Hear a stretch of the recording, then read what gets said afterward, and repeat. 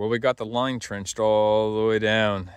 The chunks of grass came out in one piece, so it's nice. I'll be able to kind of put it back together and it won't look as torn up. I will finish this small section by hand just because I don't want to cut anything. There's a water line somewhere here.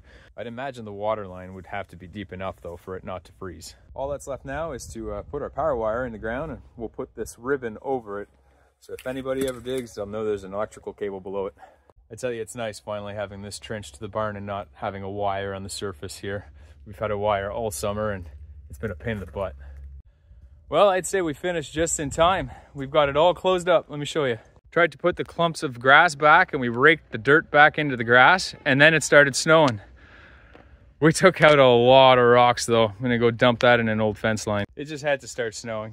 Actually, it's quite enough that's falling right now. I'm really glad we managed to get this done though before winter showed up.